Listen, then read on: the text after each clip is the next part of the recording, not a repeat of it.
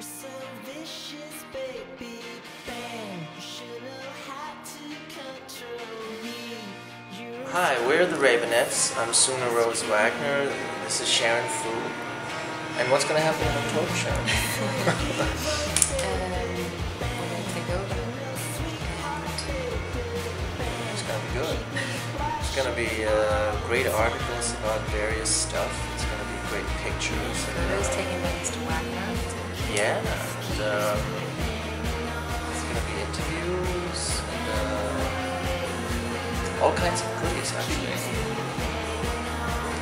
We'll write some blogs. It's gonna be real good. We're still contemplating,